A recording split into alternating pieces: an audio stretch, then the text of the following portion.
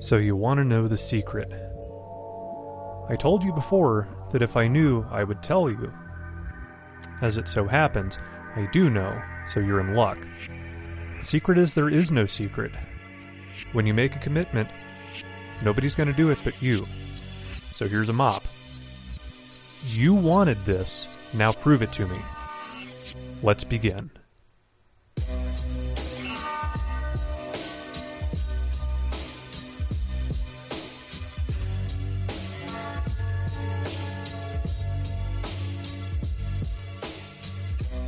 I'm to tell you something. I've been so down on myself. I've been so goddamn mad that I've been unable to find the energy within to do this, and I am no longer willing to take it. It's June 10th, 2020, and this is SCP Cafe, but that's not important right now. Here's the situation I made a commitment to myself to record a certain number of episodes in the month of June, and that number was 30. That's not necessarily to say one every day, but that is 30 episodes in 30 days. Now, I have been feeling under the weather. I think I've got a cold or something along those lines. You might have picked it up a little bit towards the tail end of yesterday's show. That is unacceptable. I will not stand for it. And the fact of the matter is, when you make a commitment, you really do need to honor those promises to yourself. Um, I feel like people devalue themselves by letting things go um, when when they set out on a journey, when they set out on a New Year's resolution, when they set out on a monthly goal, when they set out on a habit they wanted to start, they had all of this positive energy. They could visualize the result, and it was eating them alive to not be there right now. And if I knew a way to harness that energy whenever I needed it, god damn it, there's nothing I couldn't do. Let me tell you a little something about a little phrase I heard uh, out here in New Mexico. It's no ganas. It's I got no ganas. I got I got no go. I got no energy today. I don't know what it is. I got no ganas. Shit ain't gonna fly today, boy. And as I find myself on the bully pulpit right now, I, you know, I feel like the dude from the fucking Power Thirst commercials. Um, but what the hell? I'm already here. Um, let's let's continue with that train of thought. I know a lot of you are writers that have things they really want to talk about. I know they've got things they really want to share with the world, and it's so easy to let the real world get in your way, to let life and all of the little mundane, trivial things just chip away at your energy. So when the time comes that you've got the free time, you find yourself without the motivation to do anything. In my case, a lot of the time, that is depression. That's clinical depression, and depression is a thief and a goddamn liar because it will tell you that you can't do it. And I am here right now to tell you that yes, you absolutely can and you should, so you can shut that voice up. So let's begin.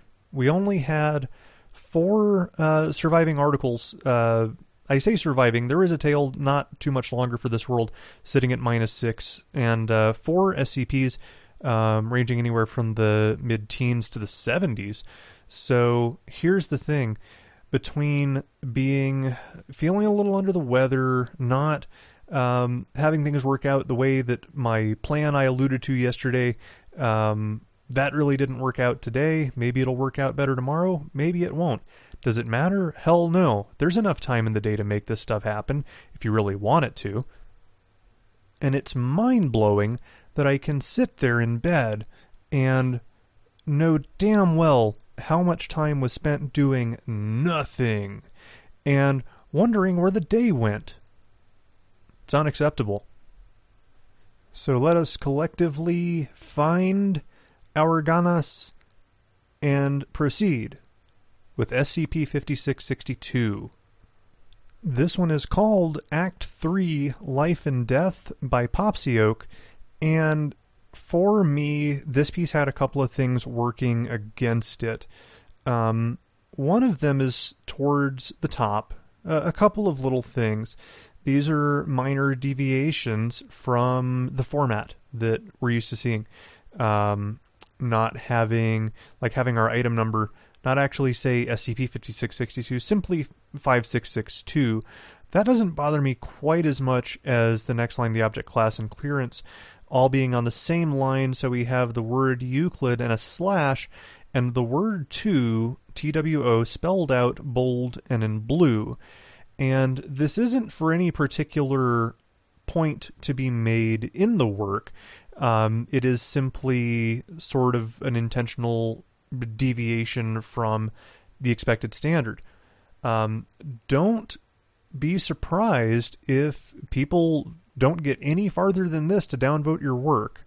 Um, it is very common, and it's one of those like these deviations are small but significant. People are going to look at it and they're going to go, "Why? What did this buy you? Why was it worth doing um, to you know change our expected behavior in this way? What did we get for that change? The answer here is not much. Um, the other thing I really had an issue with is sort of the the setup of it is a little how do I want to say this? Um, we have a dash one that is basically it will appear simply for the purposes of exposition. Um, I don't have um, it. It doesn't show anything else happening but the sake of pure storytelling. They're literally the only times we run across this thing is to move the story along. Um, sometimes that is more subtle than others. In this case, I don't think it worked very well. Um, I, you know, feel fairly beaten over the head with what we're trying to to do here, and to kind of make matters worse, the jumping in between of the point of view of this junior researcher and the dash one or POI here um, didn't really work for me. Um, we've just got a few too many factors here that are against sort of what I'd like to see in a work at this point. And this is an exceptionally difficult line to walk. I fully understand that. Um, striking the balance of horror to storytelling is difficult. Um, but our premise here at its base is not compelling enough to hide the other sort of flaws in the piece. This is a minus one from me.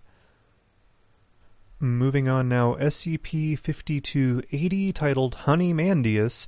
Uh, this is a co write between Amelia Wright and Stormbreath, our uh, promotion candidate to the position of moderator. I'll talk about promos uh, after we talk skips for a little while.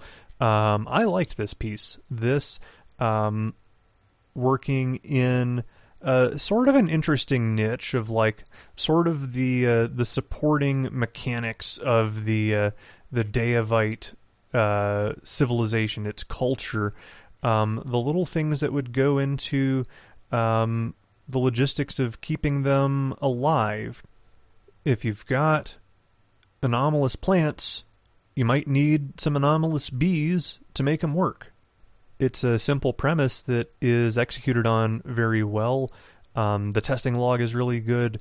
The uh, the excerpts um, are really um, really interesting. They they make you think, um, and this is like I tend to be um, a little. I don't know. I don't think I'm generally as big a fan of the whole Daevite thing as much as some others. Um, so this piece also has um, a relatively short length uh, working uh, to its uh, advantage. One other thing that I liked about it was that we have uh, some cross links all the way back to Series 1. Um, you don't see a lot of that these days in a well written piece. It's interesting to me because, I mean, let's be honest, there are a thousand of those boys in Series 1, and there's still, I think, room to tie into some of those and make for a piece that is more interesting for its inclusion.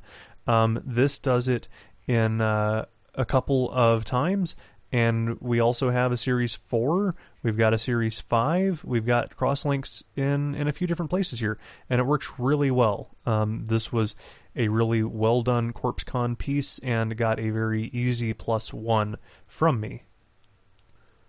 Moving on now, SCP 5907, titled The Perfect Fit, written by Dr. Akimoto, which features a 19th century oil lamp that, when lit, causes it to emit trace amounts of fluctuating Akiva radiation. Do I have your attention, Mr. Spike Brennan? I appreciated our conversation last night. Uh, always enjoy hearing from you. Now, if I had to point at one thing that I love about this piece, it is this piece understands the value and to be to be honest, the difference between good and great in an article that the right picture can make. The picture and its caption are perfect. You can't do better than this. It is just the thing after the log um, to, to it seals the mental image. Like if there was any doubt on what happened, the picture absolutely drives it home. Um, really, really well done. Um, if I had to make one adjustment, what I might do is go straight. You know, I don't know. I was going to say I would go straight from the video log into the second collapsible, this incident report. What I might do to preserve the shock of seeing the image would be I think I would do that. I think I would move the video log down to the bottom of this discovery section and then put the incident report behind a collapsible um, to offer that real that real visceral punch of yep, here they are. I'm being intentionally vague because this is absolutely worth the read. It's not very long. It's a great piece. Plus one. Moving on now, SCP 5430, titled Snake Wearing 48 Sneakers by Community Outreach Captain and Wiki Moderator A Random Day. This piece is en fuego. It is at plus 80 in less than 24 hours, and it doesn't take much to see why. This piece is shorter than my hand. I can take my hand and, and go all the way from item number to the bottom of the final addendum.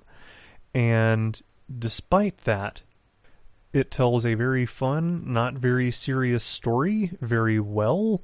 It injects a ton of character in a very short amount of time. And that is a real talent. That's really, really difficult to do. Um, we can always, you know, uh, talk the talk about show don't tell, this is how you do that. And look, this thing is super endearing. Like, I really got a smile on my face after eating this thing. It's just awesome. It's it's adorable. Um, and this is, you know, by general acclamation, being really well received. It feels like a series one skip in a good way. That we have you know, short length. It's funny. It's, you know, w- when we talk about we we we consider this boundary of humor versus horror on the main list. Um, this is fine. You know, th- this is the one thing I hope that people are finally coming around on is you don't have to put something that is funny in the joke category if you don't want to. This is doing quite well on the main list. I've said it before. Not every article has to put a man on the moon. Not every article has to cure cancer. Some can just tell a fun story about a snake with 48 pairs of shoes. And this is one of those. Outstanding work, Ard. Plus one. Now, longtime listeners might say, hey, you didn't say last but not least. That was your last skip. You didn't say last but not least. Oh, and on the topic of longtime listeners versus new listeners, uh, I want to very quickly say hello to my buddy Mark Basler, who is catching this show for the first time. Um, he is a coworker of mine, and uh, as sometimes happens, questions, you know, get asked. I do a lot of Zoom calls. All of my, uh, you know, recording stuff is is you know visible, and we get to talk. And he's given this a listen. Um, always appreciate you, bud. You do a great job keeping the place in good spirits, and we were very lucky to have you. Anyway, um, we have my real last but not least here is SCP Wiki staff who are being promoted. We have June promotions. Um, this is kind of crazy because it feels like the promotion schedule has been so strange. As of, you know, I say as of, it's always been strange. Um, it had been something we were supposed to do like once a quarter, and eventually it turned into like, we'll do one about every nine months, nine or ten if we wanna, I guess. Um, but we're kind of uh, we're getting closer to a quarterly thing, so um, that's good because it's not quite as much work for the team to get interviews done and to um, you know get everybody together. It's a lot of work to you know review all these bodies of work from the candidates and having a smaller group um, really does make life easier in that regard. So, our candidates from junior staff to operational staff Deadly Bread, Jackal Related, and Malice Graves. Um, I did abstain on the first two, um, not because I don't think they're capable of being OS. Um, it is simply because my work and theirs have not overlapped uh, enough for me to have uh, a sufficient opinion. And given that right now they are passing by unanimous or very nearly unanimous assent, um, I didn't feel obligated to give, you know, uh, to give a no or give a yes or give anything. Um, you guys have earned your promotions, and me abstaining is the truth of the matter. I don't have um, enough exposure to say in my heart of hearts, yeah, I think they're ready. I don't know. I know you guys are both great, and I'm happy to see you uh, keep moving along the ladder, as it were. Um, one I chose not to abstain on is Malice Graves, who I mentioned in my promotion comments that they have, if they so choose, the ability to go as far as they want on this wiki. And I truly believe that. Um, I very rarely have had as good a feeling about a user from a very early point as I have with Malice, and they are uh, an absolute pleasure to work with in the chat and seeing them work um, in their capacity as JS um, I am fully confident in their ability. So this is well earned. Um, I don't believe there are any abstentions. I believe Malice is a unanimous vote thus far. Um, in the candidates to be promoted from operational staff to moderator, there are four, and three of them come from my team. AIS Mallard, Dr. Bleep, and Stormbreath are all uh, you know, forwarded for promotion by tech. Um, G0765 is the fourth. Um, I gave my comments on each of these candidates, which uh, I voted yes down the line on. Um, AIS Mallard has truly been uh, a blessing. Um, he's been uh, a wonderful friend. He's been uh, a source of professional uh, support and understanding and a very thorough knowledge of all of the stuff that we need to get the wiki's technical side to the next level. Um, some of you guys will never see uh, the technical work that goes into the presentation of the wiki. And if we end up having Project Foundation be successful, um, you may never see the work that he does because it's not always the most visible. But if we get there, I can tell you it absolutely would not happen without him. Um, he's also been a very uh, willing and capable um, volunteer in keeping our uh, our organizational system. We're kind of setting up some new stuff. We've got access to some new toys. We have a Jira. We've got a Confluence. And his experience with those tools has been great because it takes that off of my shoulders. He's helping get other tech staff on board with using it. And um, he knows this stuff better than I do in a lot of respects because he's a, a, professional developer and I'm just an idiot. You know, I build Windows servers and, and mailboxes and shit.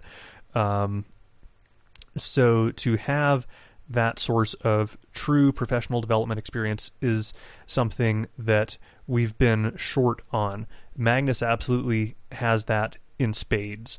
Um, but we need more. That has to keep growing, you know, on down the line uh, for us to get where we want to be. And we are a lot closer to that target with having Mallard. Um, Bleep and Stormbreath. Uh, Bleep does um, a ton of work on the uh, the new MAST team, maintenance and ancillary staff. As a matter of fact, Bleep is a captain while being at the operational staff level. Um, that is fairly unprecedented, and it is uh, absolutely to her credit that uh, when and I may not be remembering this quite right, but I seem to remember that this was offered before this promotion to moderator, and it was declined out of interests of uh, not having the time to devote to that additional level of responsibility. Because moderator for me really is where the rubber meets the road. It's not only do you have the ability to work in your lane and do the stuff that your team needs but when you are put in that position of moderator you've also got a broad understanding of the of the wiki and all of its teams and understand the various goals of them. And when they intersect and where you can contribute even for things outside of your team. And bleeps been, uh, bleep's been outstanding in that regard. Um, she has helped me with some stuff for um, an offsite project that we're not really ready to disclose yet. I think we still have to get some finishing touches on it um, before we can turn it around and I can, you know, uh, brag about it. But um, I think the promotion to like you know making MAST a full on team and being a captain this was a long time coming and very well earned. And Stormbreath has been great to work with. Um, he's been consistently helpful, um, working on a ton of some fairly not fun work um, with regards to organizing things for tagging, building new components. Making use of all of the crayons in the Wikidot box, um, coming up with some really elegant solutions to problems that don't involve any new code, they don't involve any new scripts being built. This is all stuff we can do in Wikidot. People don't have to adjust a damn thing, and it just works. And it's awesome to see that stuff. A promotion to moderator usually means that we trust your judgment like a lot. We want to hear what you have to say. And this is what I want to say to Stormbreath is make this uh, an opportunity to be heard. I want to know what you think about a lot of things. Magnus does too. We fully, you know, believe in your expertise to build the the blocks of the wiki at a level beyond what either of us are honestly capable of. Um, where my expertise is and where Magnus's expertise is um, are in things outside really the true scope of like the wikidot formatting and markup. I might end up there by the time we finish this Wikidork project, but that's a ways away, and um, I still don't know if I'll ever get there because once certain things are working, I'm not going to touch them again. Um, you've had no hesitation in picking up things and just making shit work, getting shit done. It's very much appreciated. But the next step here is let us know your thoughts on more stuff. Get, you know, jump in and make yourself heard. We believe in you and we want to know what you have to say. The last one here, the one outside of tech purview, is G0765, who's been a really diligent worker. Um, it's always, um, we, we don't see a lot of these where they just keep their head down, do the work, contin- consistently, continuously make the wiki a better place and ask for nothing in return. This is, you know, a very uh, generous, giving, selfless sort of person, and it is reflected in their body of work and their uh, their demeanor and ability to be at that same level of helpfulness um, on uh, chat staff, um, which is a a thing also shared by AIS Mallard. Um, G's work touches a lot of different moving parts of the wiki, and those users are really worth promoting because they see things at a broad level. Um, and especially like being in both the staff chat and the chat staff chat, the op chat, um, you know, he gets exposed to a lot of things and is never lost, never, you know, outwardly concerned about any of it, just pitches in and keeps going and talks through ideas and uh, there's I don't have a lot else to say. Um, these have been uh, four really really good users. I am very happy to see all of them um, on the route to promotion to moderator with, again, near unanimous approval. And I suppose there was one other promotion, but he's not all that important in the grand scheme of things. Um, we had 80 applications yesterday, and fully 39 of them did not uh, meet the guidelines to give you an idea of what that process um, looks like. It's not hard, and I know any of you that are members are like, what the hell? How could that be? I don't know. but it is but it's true. Um, and about half and half seems to be the norm. Some of these applications are really not good. Some of them are fine. It's it's weird, but it is what it is. Um, people have to do this little this little bit. We're not asking for a lot, are we? Like you do your one little thing of required reading, literally the only thing keeping you out of the site. You do this for us, you're good forever. You're not paying any dues. There's no like pop quiz, stop and frisk shit. There's none of that. Do this for us, you know? I don't know. We made it. We're at about 29 minutes, and I have found my energy again, thanks to this wonderful group of wiki staff that have earned their promotions, and a snake wearing 48 Tims. So, thank you for playing along, as always. Um, wanted to also give a thank you to William, who just placed a uh, an order on the SCP Cafe store. Um, he's going to be getting a uh, decal uh, foundation pin, an O5 access card, and a shirt, and very happy to send all of that his way. Um, if you thought this show or the work being done to back up the wiki is worth a dollar, Patreon.com slash SCP Cafe is, as always, the place where you can go and help us out. So, until next time, keep reading, keep writing, and goodbye, fellow kids.